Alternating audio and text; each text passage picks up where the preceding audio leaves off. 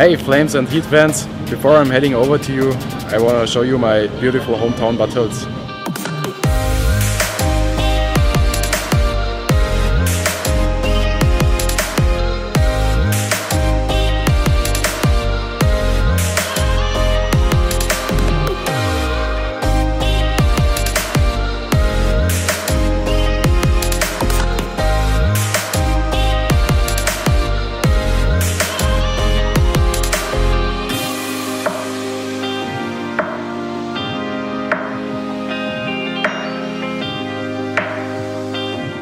This is the place where all started.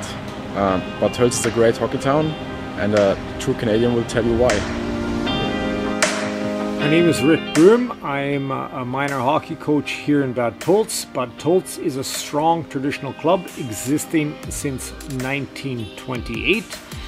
The club itself has been influenced by Mike Dusky, a Canadian coach from Winnipeg, myself from Saskatoon, Saskatchewan.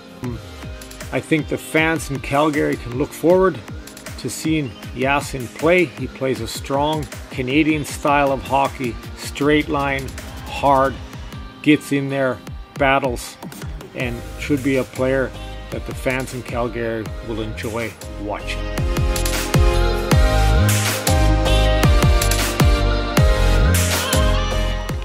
Now you have a first impression of my hometown. I'm really excited to be a part of the Flames organization. So see you soon. Bye.